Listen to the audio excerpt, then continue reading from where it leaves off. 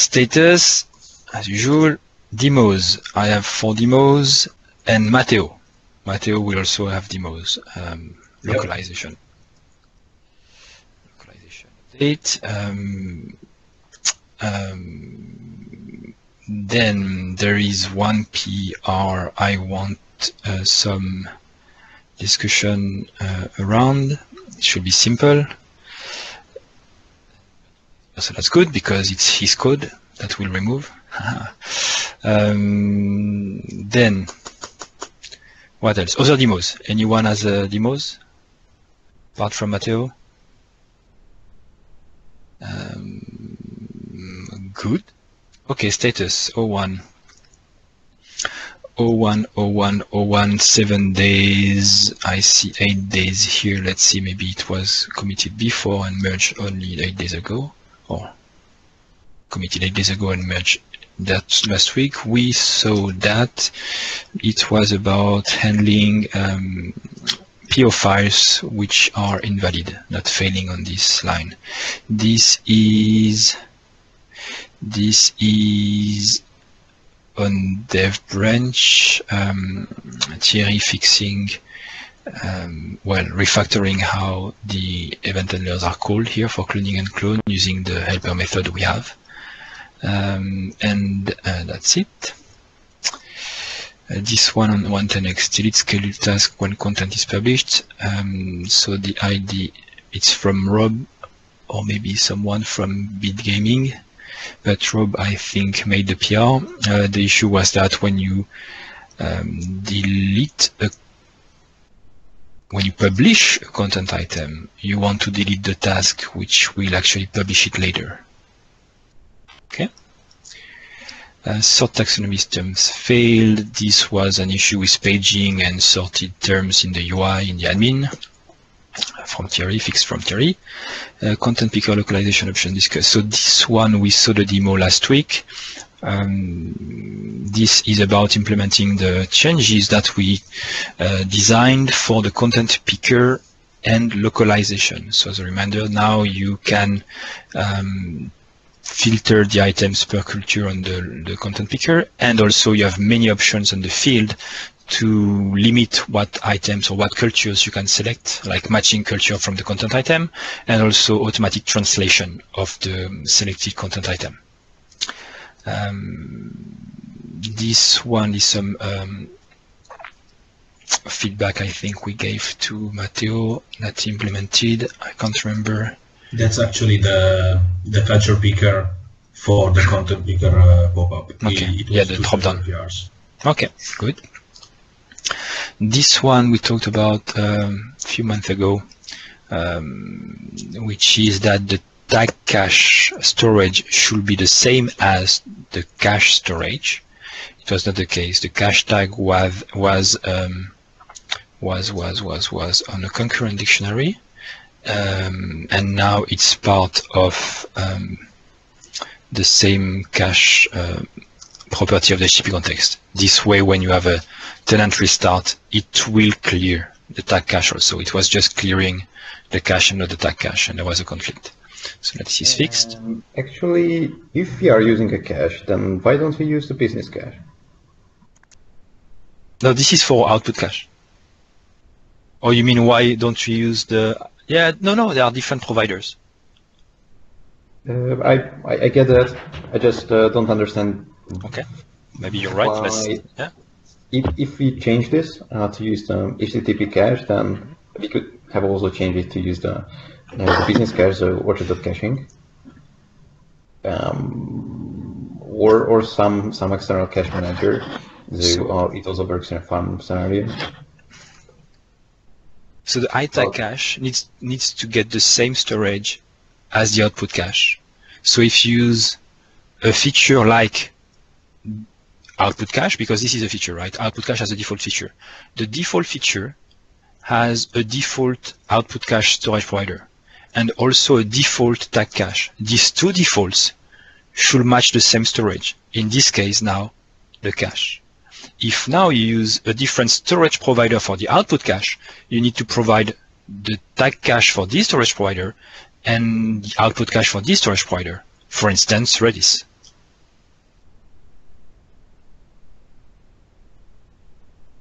Okay, so the only difference uh, that um, that the author wanted to achieve here was uh, resilience to app restart.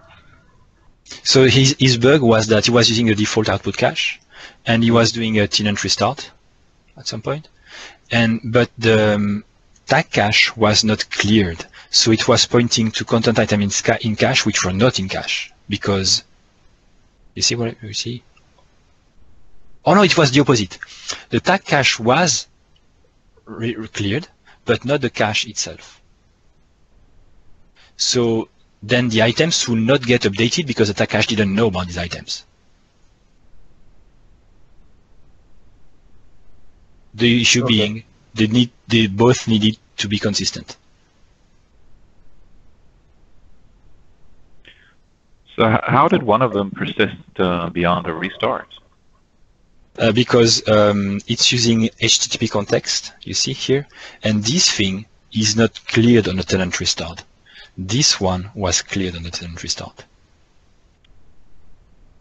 So the HTTP context cache is something that survives the tenant restart? Yes, because the app doesn't restart.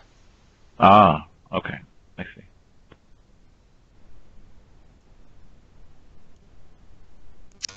Good. Oh my god, the level of discussion when Daniel Zoltan is here. Um, bug reading site settings from the route class. Uh, bug reading site setting from the route class. So he's wrapping um, the route initialization in the same work context in the in the default orchard shell because we had um, a new scope at some point and this item could use some service so needed also to be wrapped in the same work context. So here you see there was a new work context was created. It's just using the, the one that was before in the same uh, method. Um, implements what's this? Oh, that's a very good title. I missed this one. I should have fixed it. Um, what is this? Request tokens. Okay, this is uh, um, new tokens for the request, being able to change them. And I asked MS that to check everything was um, all the unit tests were passing, and he checked, so that's fine. Zoltan also, I think, so the the change he commented on for request. Uh, fixing tenant name validation regex, yes, and I missed that. Fortunately, Matteo didn't miss that while we fixed this thing. And we also commented on the PR because there were some issues. We missed this backslash. So this Actually, backslash. missed it as well, but it didn't work today. So yeah, I saw that. I should. Yeah. Ah. So I will pull the PR on Thursday. That's very small fix to do. Yeah. Um, or before, if I'm not that lazy. If you have questions? No questions. Um, so that's it. Orchard 2. Um, or maybe let's focus on Orchard 1 and also do the demos for Orchard 1. Actually, let me, because we talked about localization and now we want to see, uh, so for those who, who, who missed the, the previous weeks, um, and maybe actually I had a question for you guys, uh, Matteo and Hermes. Maybe you could explain more what you're doing because you've been pretty active the last few weeks and months on localization. For those who missed it, we made multiple design meetings for localization and had very great ideas. And Matteo and Hermes are working a lot on, on that. And well, Matteo, Hermes, and now you get two or three more contributors on the PRs like Giuseppe and whoever. Um, so can one of you, Matteo Hermes, explain who you are, what is Laser, and what you are doing?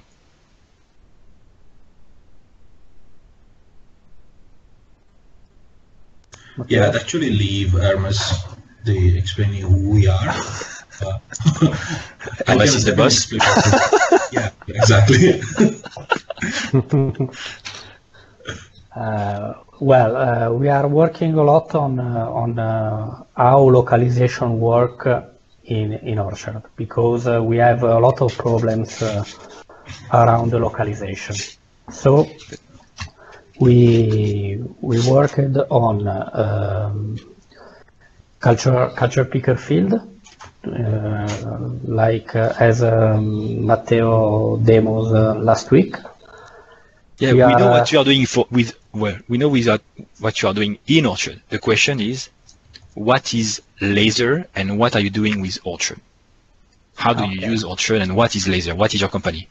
Uh, Laser is an IT uh, company working in Italy, and uh, we are uh, we, we we write code in order to uh, expose uh, Orchard contents for mobile application. Okay, good. And you use and, a lot and of also, localization. and also for website website. Okay, thank you, Matteo. You can share when you want. Yeah. Uh, I actually forget how to share the screen. Same button. So you see my screen? I do. You see here? I don't see the mouse pointer. Oh yeah, there you go. This Found one. it. Yeah. Do that. Okay. Uh, okay, I'm going to interrupt you. That's good. That, that's what I'm asking for. Right. Is this the monitor? Yes. Share. Right. So as Hermes was saying, we we need a lot of localization because most of our clients require at least two languages, often three, for their uh, websites and for their apps, basically.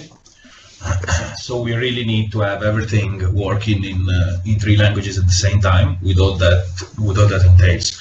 So as you were saying, Sebastian, in the past few weeks, we've had a few meetings. We we started really working on this for 110x, and uh, so what I wanted to show today is a part of what we think as a big localization feature. And what, what I did in the past few days is the localization sets that we discussed. So basically using an ID to properly um, group contents which are translation, localization one of the other. Uh, because what we found out is that using the master content ID has several drawbacks and the services that were that were based on the on the master content ID behaved in some unexpected ways, let's say. And then I will also show the cloning.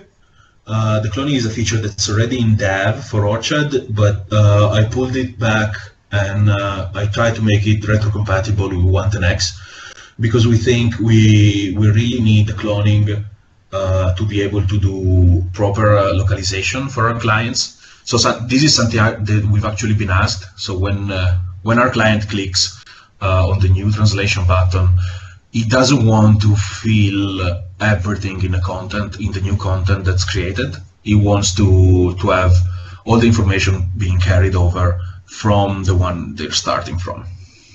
Uh, so in this tenant I, I've set up here, uh, the cloning is not yet used for the localization because first Can I just interrupt you one second? I just want to set up the context. So cloning is already in Orchard 110x, and Zoltan knows about it because he made it. And today in 110x, cloning is based on import-export. So we export the content and we import it with the issues that some things need to be changed during cloning, and we don't support that. The only thing that is supported is, I think there is just the identity or something else, or there is a copy, dash copy, which is added to the identity. Okay, that's the only thing we do. So uh, Thierry Fleury uh, made a PR to fix that and to make a clone and a cloning event on the content handlers so that any driver can implement cloned and cloning and then define a custom behavior for clone and cloning. For instance, the identity will just generate a new GUID and uh, the other things will just duplicate their content, okay, like they do for import and export. And this thing has been done in dev because there was a breaking change um, in the interface. So Matteo worked on backporting the same changes, making them in 110x without anything breaking. Yeah. Go on. Yeah, uh, yeah, and I just want to add that basically uh, to, the way we did that was to enable a sort of fallback mechanism. So if uh, if for part or field there is no cloning implemented, the the actual cloning will fall back in using uh, export import as it is right now in 110x. So uh, for this demo, so uh, localization sets. Uh, localization sets basically mean that when I do new translations of a content, uh, uh, here I have I created a an English language content. I'll do the Italian and the French localization if it opens. That's being live. Okay. All right. So this is the English variation. Uh, as I was saying, right now the cloning is not in the translation, so you see this is an empty one. So I'll do the French version, right, and I'll publish it. And uh, then I am in the French version, and I'll do the Italian version. Now I'll show you in the DB what this does. In the DB, you'll see I had my English version and then I made the other two versions, right?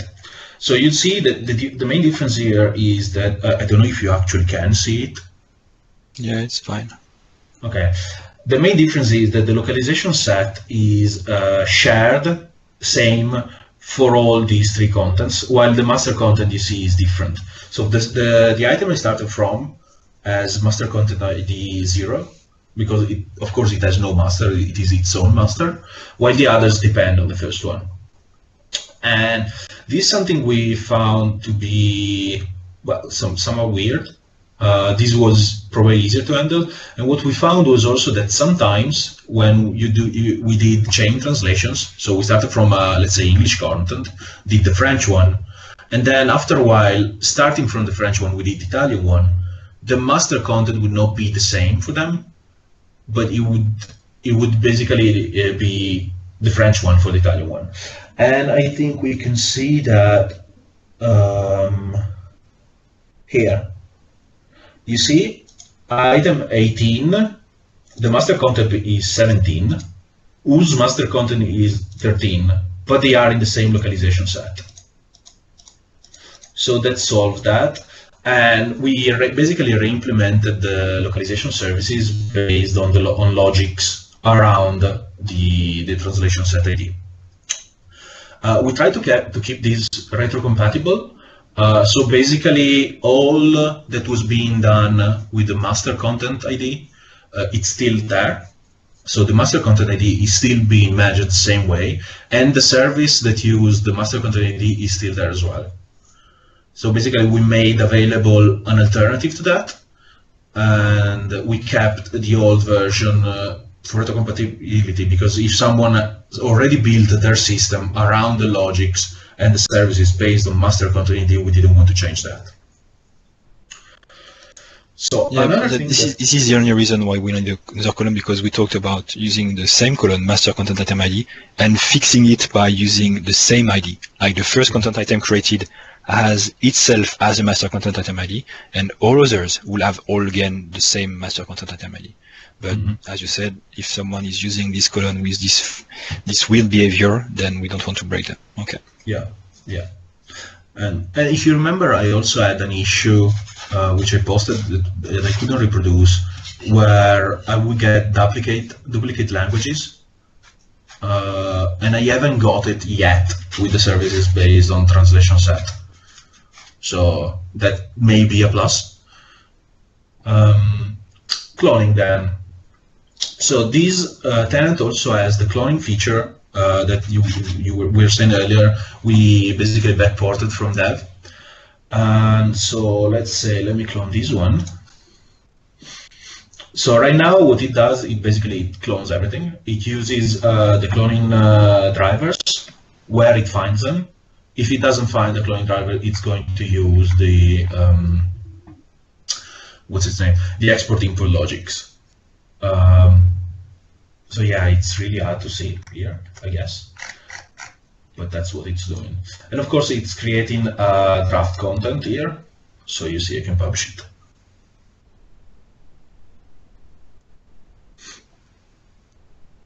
Yeah. Okay. Um, can you yes. show the interface that we changed? The, yeah, of course. Because right. the, to be able to backport the the event handler changes, like a clone and cloning method, for mm-hmm. sure it's a new method, so it's breaking the interface. So what Matteo did is a new interface, okay, on 110x again, which is called I clone content handler, something like that, like that, yeah. and inherits from I content handler and adds two inter two methods on the interface, which means anything today which works with iContent handler is not touched at all. And It's- if you sorry. want to implement your Sorry, custom, Sebastian. Sorry, it's actually on the driver, not on the handler.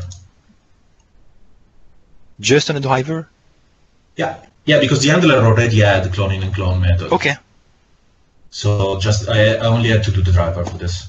good. Yeah, but go ahead. I mean, No, that's that. I think that's it. And then yeah, if you implement this custom interface, if you want to implement these methods, uh, Yeah. so that's opt-in, and he made it for the things that needed to be done this way. yeah. And in the dev branch, we are not changing it. We will remove this interface on the dev branch. So on the dev branch, we need to put all the things which are on this interface into the default one, which is currently the case already. So this is a breaking change, but it's a good breaking change. It's not more breaking than what is currently on dev actually. So I I was going to ask that. When you when you merge forward this one to dev, uh, you'll have two solutions for the same thing. So, so you'll No, no, we will re- remove this one. The breaking Oh. change will be to remove this new interface, right, which is already done. oh, okay.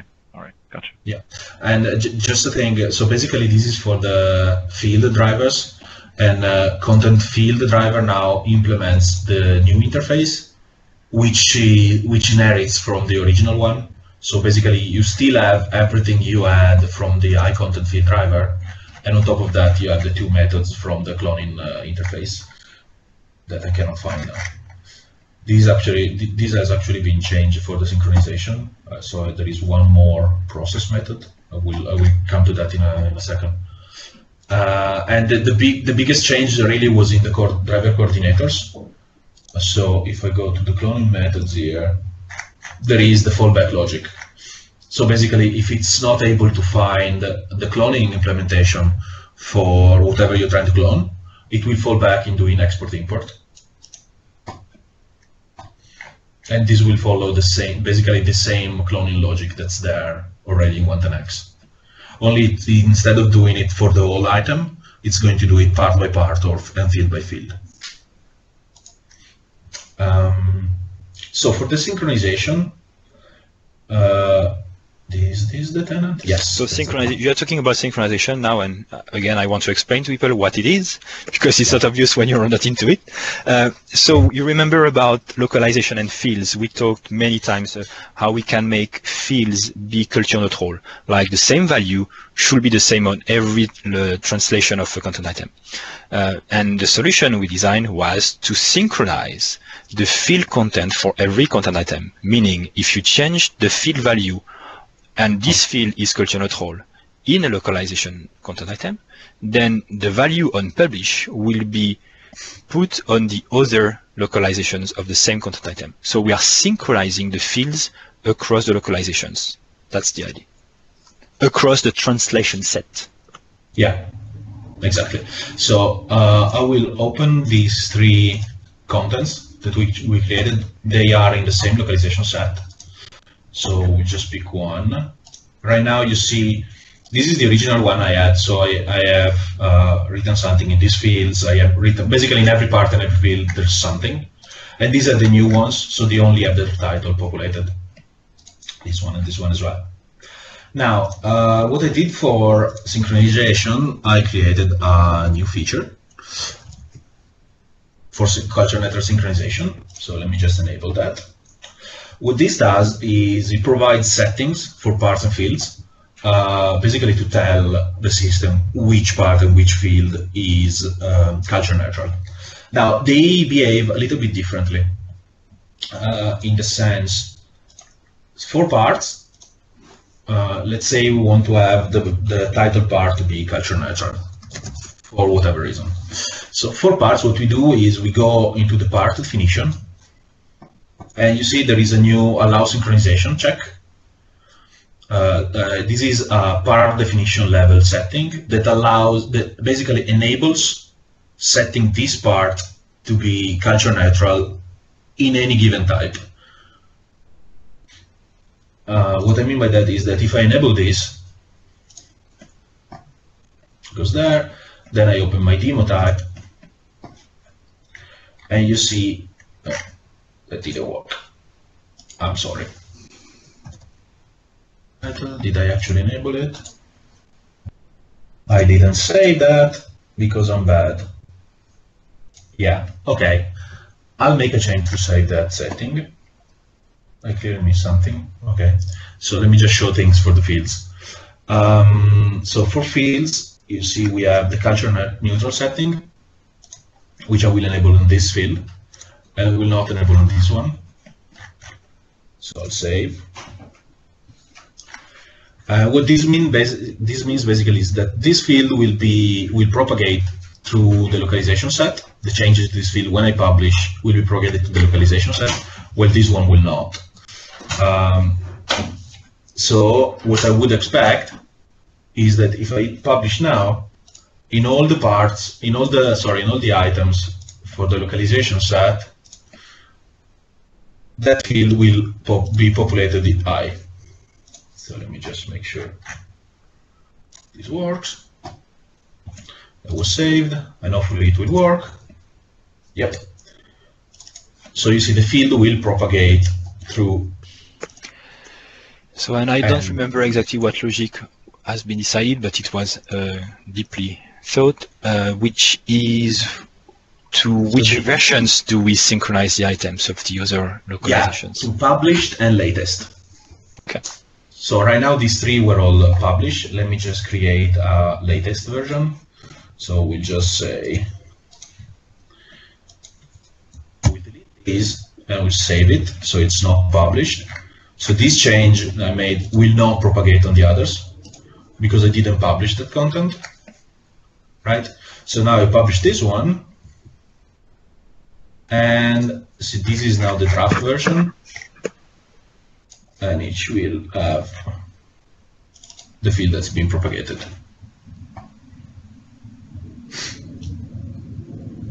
Does it make sense? Yep. Well, we designed it, so yes, for me, but I don't know. Yeah. Sorry about the setting for the part. I clearly, I'm clearly not saving correctly something. Um, yeah, I'll have to check it.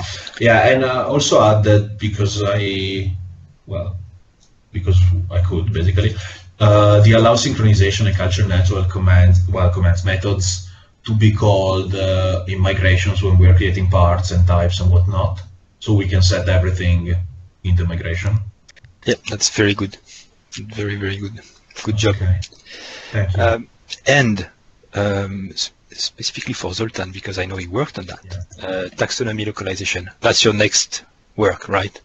yeah, uh, actually, Her- Hermes worked on that already. Uh, I don't know if he finished, but uh, yeah, I just wanted to to just add something. I mean, it ju- just add something to the discussion about the the translation uh, because the, our next step, personally, would be to have uh, the cloning behavior when we are doing new translation of a content. And uh, basically, it's similar to what's in the what Thierry Fleury did in Dev, uh, because he has something like that. What we were thinking though was to instead of straight up using cloning, uh, use basically translating methods that would fall back on cloning if none is implemented. Basically, like we did for clo- for cloning that falls back to export import, we would like to do translating the falls back to cloning, just because it looks cleaner and it I think it makes more sense to just implement that separate. When we talked about it, we decided to pass a property culture with the clone. So you can clone a specific culture, which means translate. So you don't have to. I know, but the the the, the issue is with that. I, I saw an issue with that later on when I implemented the fallback, because to implement the fallback, basically my screen went off. Okay, when I implemented the fallback, um, basically what I'm doing is I'm checking if cloning is implemented, and that would pose a problem when when I'm implementing a cloning that's only really a translating, because then nothing would happen on cloning. Why nothing will happen? Actually, I don't get. Bec- Because the, the fallback, sorry, let me just open the code. Well, the fallback just does the same job. It doesn't take into account the the culture. That's fine. Wait a second. Well, yes, but suppose, no, sorry, this is not a file. This is a file. So you see here, what I did is, if it's a cloning driver, I'll check if it has implemented the cloning method. If it has implemented the cloning method, and if it has not, Oh, it's bad. Uh, that's so ugly. Uh, super ugly. I don't like it. yeah. This is Wow. super ugly. I don't want to see that. Close it. Um, no, you, you just call it, and the default implementation is the fallback. Done. Mm, Yeah, we'll find a solution. I don't want to see that. okay. There are some other nice ways to handle that. I'm sure there must be. But that's no, nope. Obfuscated, so Sebastian doesn't understand it. Yeah. Sorry? uh, no, no, don't worry. We'll talk about it offline, and we'll find a, a better solution. Uh, Okay, sure. at, at least to find the method that is implemented or not. Well, that's fine. But then the translation, it's a different story. There are two issues here. We'll talk about it offline. That's fine. Okay, cool. You, you touched uh, briefly on what versions you synchronize to. Did you say that you synchronize to the published one and the latest draft? Yes, Yes. Okay, I'm trying to wrap my head around what that means. That's Uh, beautiful. If you, so if you if you have a draft, why do you want to synchronize to the? Because, because then this draft will be published, and if you don't synchronize it, you will publish a null value to all users, Yeah. But why? and they have to be the same. to the published one. Because if they are published and you're publishing another one, they have to be the same. So you also publish to the published ones. Yeah, I guess it makes sense. You should have come to us to these meetings, beautiful meetings, two or three hours of meetings, I, I would have all, all these issues and crazy. And L- late at night for us. Yeah, very early for me. Uh, and we also designed the taxonomy. So Zoltan, you, if you could read the, the design notes for taxonomy localization, we found solutions to have um, taxonomy localization in the core of taxonomy. Very simple also. All the um, scenarios handled and that's beautiful. Uh, so you should read it. Good, So- perfect. Has this Uh, stuff Matte- uh, been committed into 110x already? What has been merged is the content uh, field picker changes. The the sync the cloning is a PR which is active right now, and Yeah. I will take a look at this reflection code. Uh, the cloning solves two issues. The cloning solves the fact that well you can clone nicely. It also solves the fact that when you click on a new translation, we can clone the item to pre-fill everything with the current values, which we broke in 1.9 or 1.10.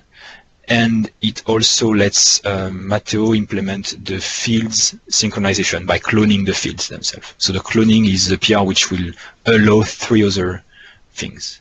Yeah.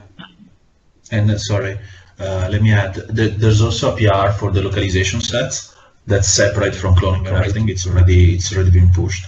Mhm. It's not in 110x, but the PR is there.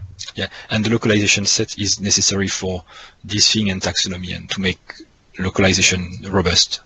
Because there, there were there are issues right now with uh, master content item ID. It's not logical, and and we have to keep them because we will break things otherwise. I have a question for Matteo. Go ahead. Uh, for the part settings, Matteo, Yeah. ca- ca- can I see again uh, how, how can I set the synchronization? Yeah, it actually doesn't work right now because I broke it apparently. Uh, the idea is there is a part definition setting, which is allow synchronization. And then at the content type level, for the single part, you will have a culture neutral setting like for fields. Mhm. That's actually, you don't have the setting if you don't allow synchronization of the part in the part definition. Okay. So So you allow the synchronization and then in the setting of the part for the content type you can uh, synchronize. Exactly. Okay. You, you can tell it to synchronize that part for that type. For that type, okay. Yeah. That's Why do you need this thing here? Sorry, these two Why- levels of things. Yeah, why not just show it on every type part? Because I I f- really feel that some parts we will most likely not want to It's synchronize an option, ever. it's an option, but then you don't check. You don't need a checkbox to show the checkbox. That's weird. In this case, there are many ways, many cases where you would like to a checkbox to show the checkbox, but in this case, I'm, I, I, it's not obvious. I mean, no, you just show the the type part checkbox. Then Okay. that's that's it. I think it also is a little uh, confusing that they're named such different things. Yeah, allow synchronization. It's like, yeah, Yeah, it's too allow, allow the checkbox to select the synchron. Yeah, no, Yeah, allow culture neutral or something Yeah. would be more But obvious. well, remove allow synchronization checkbox and type part definition, just call it culture neutral part. Boom. Like like you did for the field or something like this. Yeah, that'd be best. I agree. Okay. Just make a note of that. But just nitpicking. Thank you very much, Matteo, for the work. Good work. Thank you. Uh, everything is good, but this uh, reflection code, I will it. Um, that's okay. Share my, my desktop. Uh, Orchard 2. Uh, clone, so beautiful, beautiful. It's perfect. Um, so, so, so, so, Orchard 2.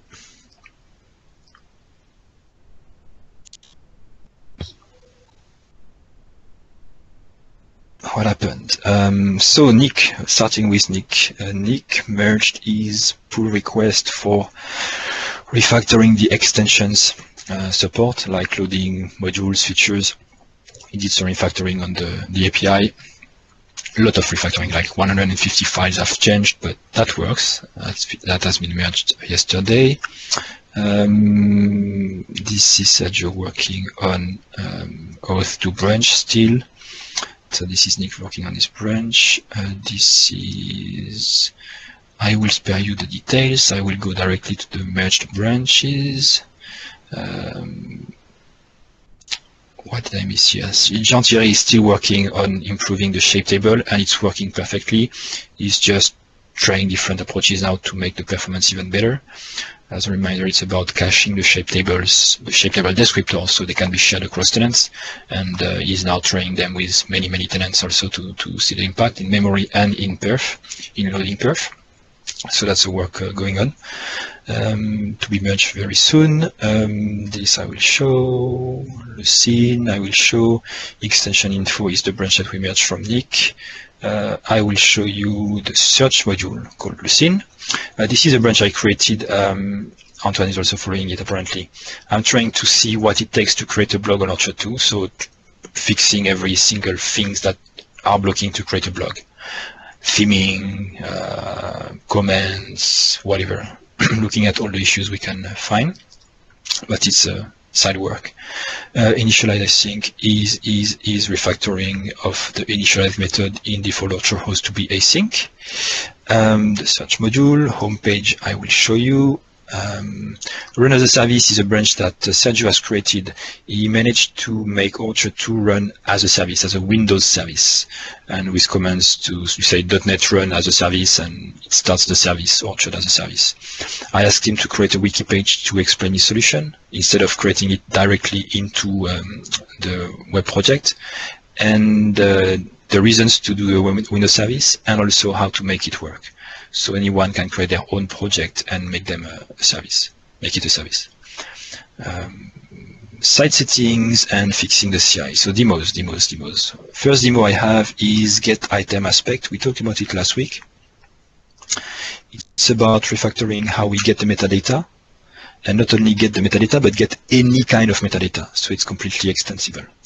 Uh, so Bertrand had a good idea, which appeared to be very complex in the end and not really work as I expected. But now I have, a, based on what he gave me, I have a good solution, I think, which is, for instance, uh, let's say title wants to implement the get metadata.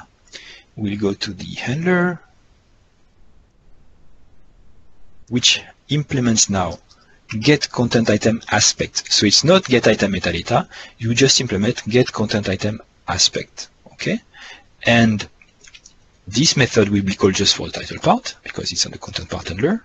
Okay, and there from the content item aspect context, you say for content item metadata. So you can provide an aspect of the content item, which is content item metadata. And then you define the value in this content item metadata, in this case display text. Another example is, um, why did I do it for? I can't remember. What was the point of having that? Because I wanted more metadata. What was it? Let me see. Uh, let me see where it's used. Ah.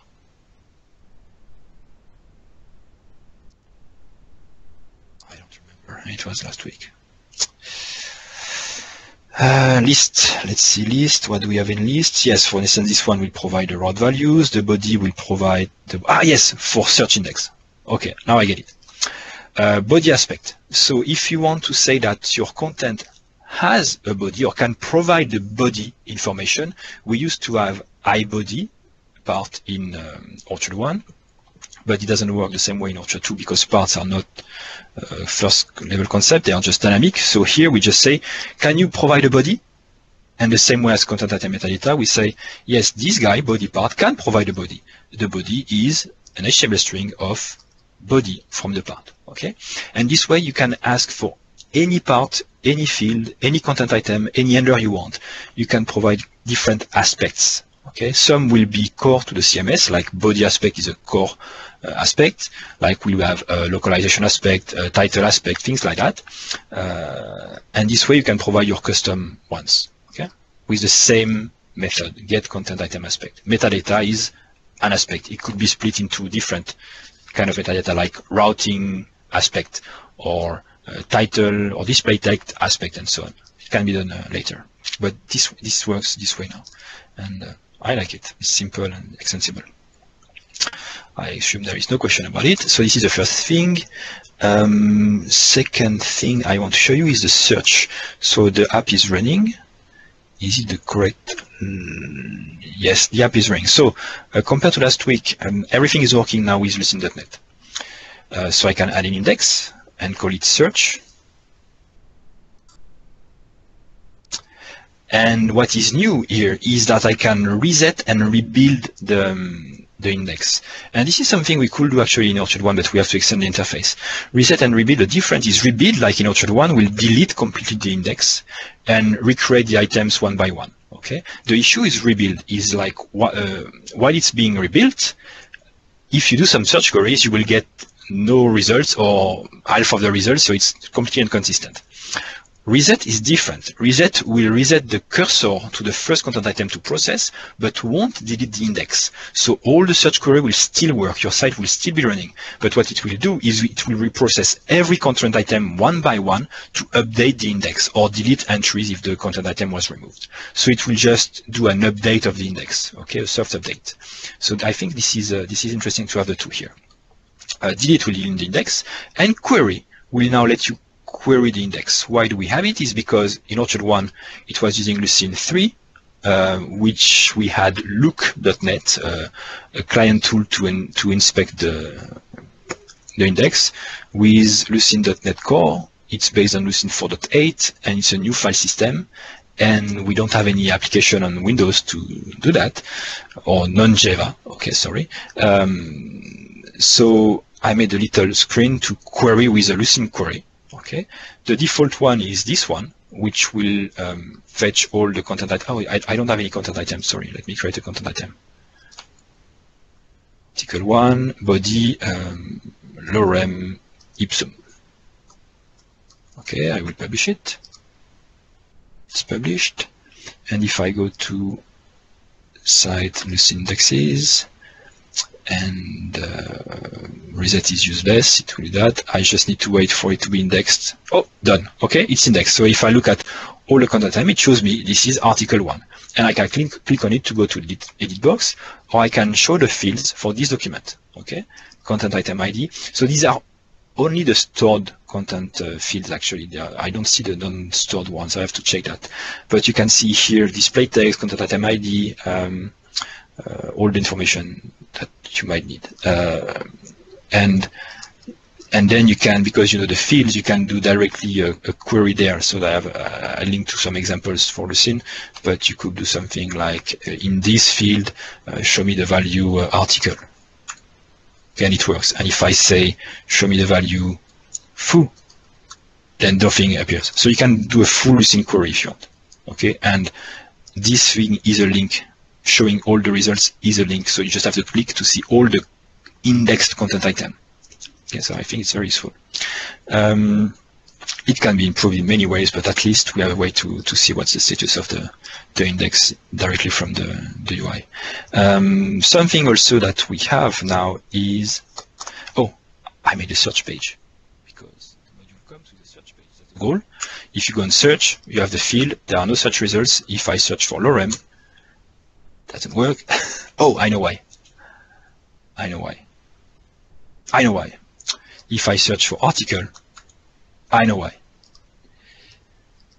Because I need to go to the content type definition, go to article, and say that I want to index the title. Okay. Save. There is still an issue with Bootstrap. It's a Bootstrap bug. I've mm, filed the issue. Uh, I can save it, and I can go to the body also. This element. Yes, this is checked. I can save it. And now if I go to the site with index, I can reset it because I want it to be reprocessed. Um, and at some point it will it will reprocess it and then I will be able to do the search, but the search works. And the search page already supports multiple uh, indexes like we have in Orchard 1, exactly the same thing. Um, what I don't have right now is the settings for what type in which index, something to, to improve. Uh, but that's all about it. The, the main difference, again, I said it last week, is that there is no search module. It's a Lucene module. And Lucene provides the search page using Lucene, the search API to do Lucene queries. It's Lucene. Okay, we use Lucene. If you want to use another search engine to do stuff, then create another module, create another page for the search that will use your thing, and uh, with the options you want. And um, what is reused here is the indexing module, which helps you to index each content item and do the resetting of the cursor and uh, process all the content items which are in the system. That's it. But otherwise, everything is Lucene here.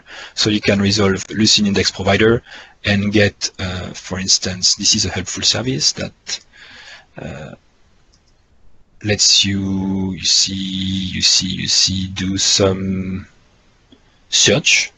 It will just let you, let you use the index searcher from Lucene and do whatever you want with that, or do a read and grant you access to directory reader, which will just let you do whatever you want with the reader, and that's it. Do any query, whatever you want. Okay? Uh, so that's the idea, completely extensible because it's full, it's just Lucene, bare Lucene. Um, so that's uh, it with indexing. Then I worked on the homepage uh, feature. So I integrated it into the auto route. And if I go to content types, article, and I go to the auto route part, you can check this option, show homepage options, check to allow the content items of this content type to be set as the homepage. Okay, it will only be visible to users with the appropriate permission because you have need the permission.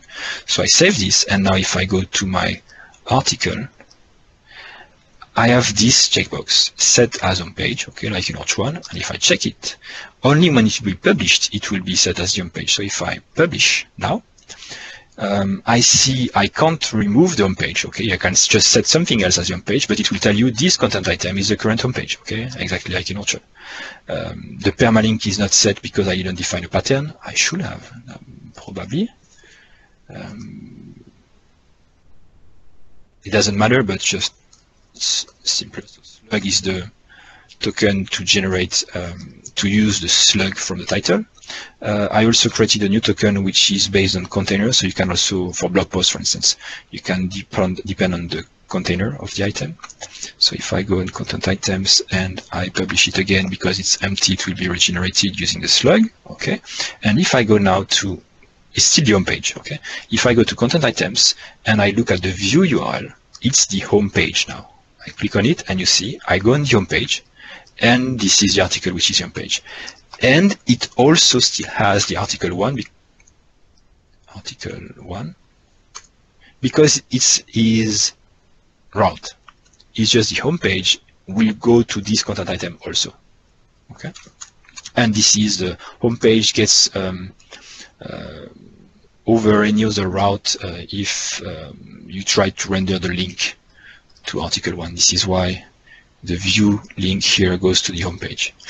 So let's see home page feature. And uh, finally, what I did yesterday was the uh, site settings UI. So if you go to design and settings, now you see general to see the general properties like in Orchard one. When you click on settings, I just implemented the the text editor for the site name. All the other properties are not don't have the editor, but you also have that uh, settings search because I need settings for search where you can define which index to use for the search index, which will be used on the front end by default when you don't provide a search index in the name, and also to define the default search fields which I need if I want my search on the front end to work. This one, save, and now if I go on search and I search for lorem, it works. And if I search for foo, it doesn't work. Okay? Uh, so that's the ID. So what is interesting here is that this is a module, the site settings module, that lets you define, like in Orchard One, some groups when you define the, the settings uh, to display the different uh, sections. Okay, I call them setting sections, configuration sections. And um, but differently from Orchard One, uh, the site is not a content item. Okay, you can't and you don't have to draft them or uh, go back to the history or whatever. So it's just a document, and because it's very easy to reuse the the, the UI composition uh, from the theming engine now in Orchard 2, um, I just made a custom driver for the settings, which is called. Um, so in this case, you just implement site settings display driver, okay, and this one will be called um, globally on the site settings, or you could you can have a site settings section display driver where you pass a type, and then for instance this is what I did for search. Uh, for search here, where is search? It's called Lucene. Confused now. So this one you see the setting section display driver for Lucene settings, which is a custom POCO object, and um, and this is just a simple driver with edit update. There is no display in this case.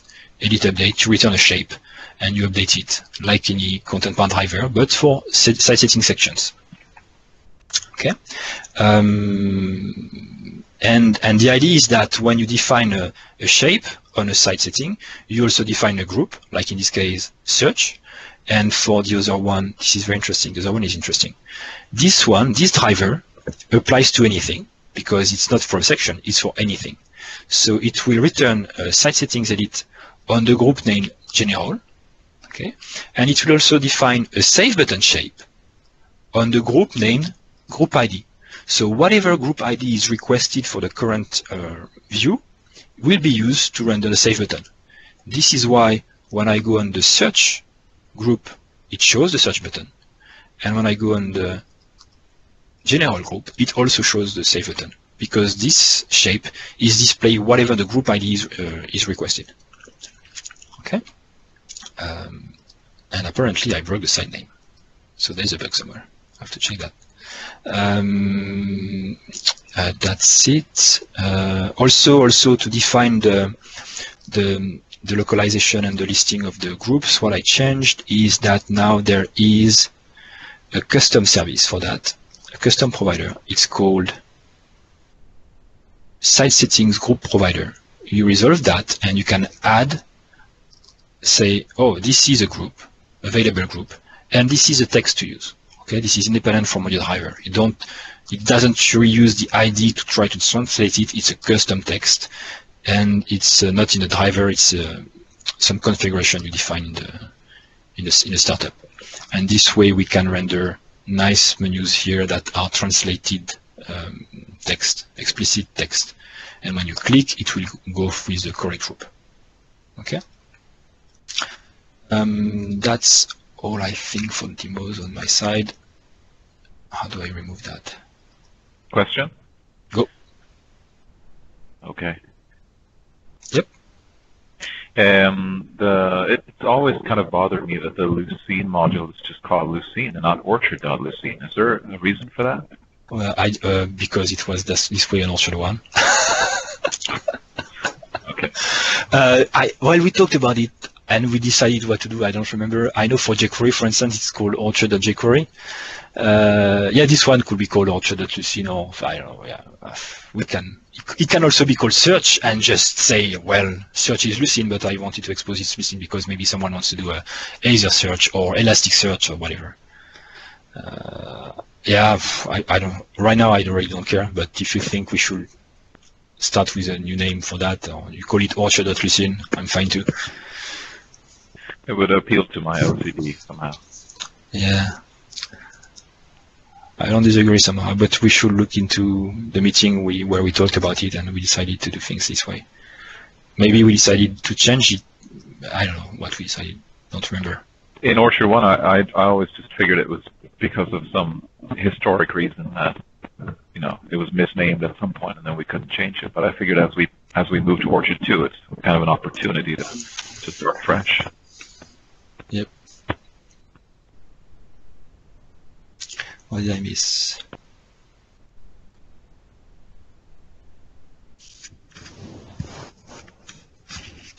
home page.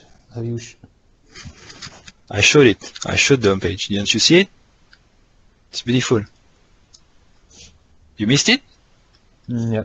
Oh, so sad. Look. Content items. I made article 1 the homepage, so when you click on view, it's the homepage. Beautiful.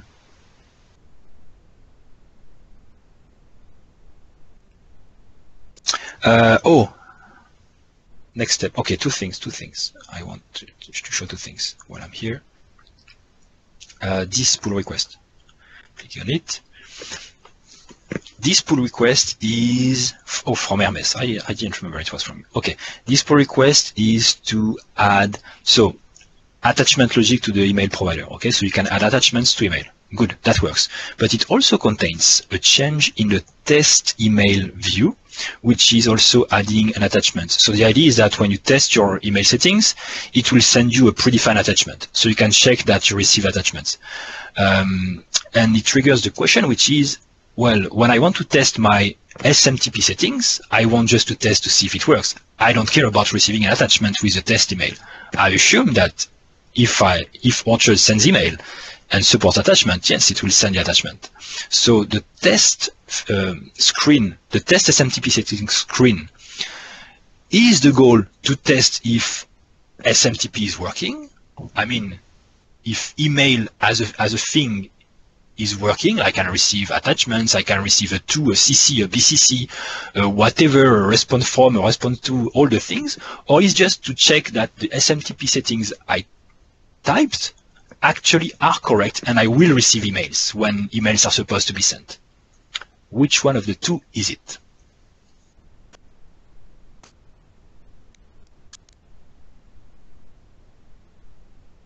Nobody. My conviction is that this screen is to test that the SMTP settings you typed are correct and will work when email will be used in workflows and everywhere. That's my assumption people are saying things. Uh, and yes, that's exactly the point. We are not, this, this screen is not to test that everything works in the email feature, uh, but uh, to see that SMTP settings work. So I will be like, okay, just why not then, so then we don't need this attachment value when we test SMTP settings. Doesn't hurt, but I mean, what for? Uh, people could say that it's broken when it, I don't know. Um, why don't, we just have then, um, for test SMTP settings, a text box with the to to send the email to someone to check that, to myself, for instance, to check that I actually received the value and the settings are correct, and remove everything else. So we will just have a to field and send. Okay, send me an email. Okay, I received it. My SMTP works. Uh, I didn't receive it. Then okay, I need to change my settings. They don't work. That's uh, that's the idea. Yeah. So if you have to do something in the pull request, I got one yes and no no. So it's one against zero. Plus my voice it's alpha voice, one point alpha against zero. Okay, it's democratic vote, so I think we we win. Or maybe we have uh, some very powerful electors here. Oh, we have Sipke. Whatever we said, Sipke can decide. So Sipke, what do you decide? Even though the popular vote is 1.5 to 0.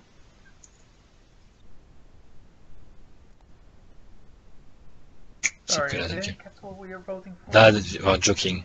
I mean, it's, it's okay. It's fine. Don't worry. Just say you agree with us. You know, I always agree. Thank you.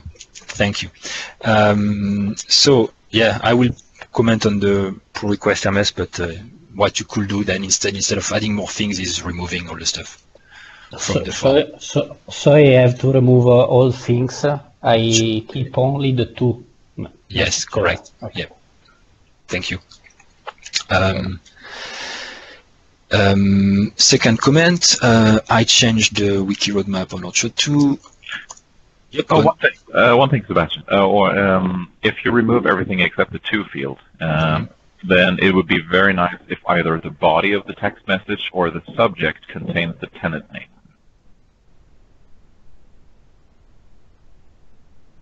the tenant name. Yeah, Okay. from which you're sending the text test message. I don't. I, I'm not opposed to it. What is the reason? Do you have a scenario in mind? Um, yeah, when you uh, wait, hmm, yeah, actually no. Because we can use any custom information in the in this field, but um, yeah. I just figured if it just says a test mail from Orchard and you have like a, a bunch of Orchard tenants running against the same SMTP Okay. server, and it would be nice to be able to differentiate them. Let's say you are, I don't know, you're a Orchard hosting provider or something, or you know you run lots of sites and you want all of the notifications to come to the same place, um, or go through the same SMTP service. Yeah, one thing we could do is uh, use the IP, like a notification was sent from this machine, from this user to this email, so people, at least if we receive emails from things like this, we know that it's coming from Nordstrom side. I don't know. Yeah, that'd be good. Okay, Hermes, go on, find something. Um, so I updated the roadmap with the stuff that was done, and I changed the roadmap. I'm very mean. Uh, so um, indexing, listing settings, actually now settings are there, but it's missing some settings still. Homepage is done. Um, settings, once the, the PR is merged, I will put it in the done. I changed the, the goals for this uh, thing. I want to work on menu uh, because again, I'm trying to, to see uh, what will be missing for a simple site. And I think menu is very important. If you can't render a menu, you're uh, stuck. Uh, and I'd like to, to try also live preview. Um, should not be that hard. Uh, I will see with um, Chris what were the issues in Orchard 1 and um, that will prevent us from making editors like a markdown editor that will need to render the things on the editor. If we have live preview, we can say, okay, we don't care, type HTML and you'll see it on the right, and that will be fine. So that's that's my goals. Um, and then next step will be the big things, the important and hard things, layout, widget, taxonomies, media library, and projections. Crazy. Um, good. Questions? Oh, yes. There is no meeting on Thursday. It's Thanksgiving. Yeah, I was actually wondering about that. No meeting. Okay. Cool. If you have things to for me to check or to, to merge everything, send me an email, send me a note, ping me on Gitter. I will try to do the PR merge before Thursday this way. Okay? Yeah, sure. I mean, uh, personally, eh, the the only really priority one is that one to fix the regex, regex expressions Okay. Well, I can. I will merge it today. I just click a button. because that, I mean, the way they are now, the you cannot create a tenant otherwise. Okay. I will fix it. Yeah. Yeah, and I mean, if you want to talk about the reflection thing, just tell me when. I will look at it and suggest something on the PR. Okay, cool. Thank you. Other questions? Are you uh, accepting uh, submissions for talks for Harvest yet? Uh, yes, there is a form. You can fill it, or you can send emails. Ah, okay, good. That works too, because in the end, it's the same thing. Actually, the emails don't work right now. Uh, I have to check with Secret and yes, I have a DNS issue, but he, he helped me last time, but he didn't fix anything. Um, it's not his fault, it's mine. Um, but you can send emails otherwise. To you? To me, or t- yes, because you can send it to, I don't know, Janos, but he won't do anything. But yes, me is good. And, uh, or you can go in the Gitter room if you want to talk, or Skype, or whatever, you know. Yep. Okay. But the form should work. I hadn't thought about it actually yet. So, but uh, yeah, but the form works. It's still there. Um. Okay. Done. Other questions I need to answer in the chat? Or Antoine answered them already. Yeah, maybe I have one quick. Go. The, do, do you still need to have uh, the localizable auto route settings in O2, or it's something that get replaced by the handleable tokens? So localizable auto route. I see, I see, I see, I see, I see. Like a route per culture. That's it. Yeah, yeah. I think we That- could do it with we can do it with tokens, Aisha. Let's try it. I think we can do it with tokens. Let me know. Yeah, you made it, I think, for one, right? Yeah. Yeah. So if you need it for yeah, if you need it for two, uh, let, let me know. I have, I haven't started on localization, and I think I will do it. I will do localization later. I will wait for uh, Matteo and Hermes to finish everything on the one, and then do the same thing on the two. Um, and um, and Autoroute with the with handlebars, we should be able to do conditions and everything, or reuse. Yeah, okay. we can we can check like if culture is null, things like I'm just pseudo coding, but you can check if there is a culture, then use it. Otherwise, use this template. You can have two templates in one template. Yeah, So- because uh, yeah, handlebar is better. Yeah, and and I prefer this way than having to implement a feature that is prone to failure. So if we can use the token because we have a token here, let's use the token. We'll try. We, we can try that. Okay. Good question. Find an issue so we don't forget about it. Can we use tokens for um, cultured, culture-aware auto routes? Good, good. So if no other question, then um, see you next week, guys. Have a happy Thanksgiving.